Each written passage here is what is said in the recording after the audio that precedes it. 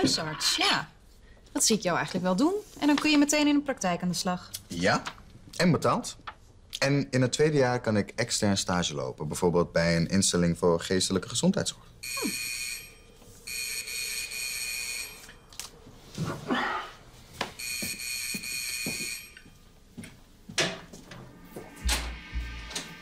Hey.